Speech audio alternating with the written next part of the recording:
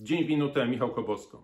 Rzeczpospolita donosi dziś, że polską branżę restauracyjną czeka prawdziwa hekatomba.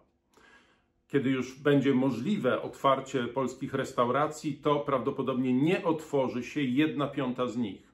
To oznacza, że z Polski zniknie 15 tysięcy lokali gastronomicznych. Ćwierć miliona ludzi może stracić pracę. Gastronomia to tylko jedna z branż ciężko dotkniętych kryzysem ale tu chodzi nie tylko o kryzys pandemiczny, tu chodzi także o chaos w zarządzaniu tym kryzysem, chaos, który uprawia od wielu miesięcy polski rząd. Mówiliśmy wczoraj o tym w Sejmie, że w sytuacji kryzysu, także już gospodarczego, Polacy zostali sami. Rząd zajmuje się sam sobą. Kaczyński walczy o stołki z Gowinem, a w tym czasie ludzie tracą dorobek życia. Czego potrzebujemy? Kilku realnych rzeczy, kilku realnych zmian w funkcjonowaniu rządu.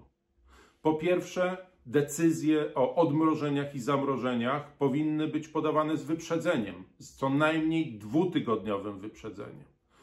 Po drugie, rząd powinien dysponować i prezentować dane o polskiej sytuacji pandemicznej, a nie korzystać ze slajdów z USA, co czyni Mateusz Morawiecki.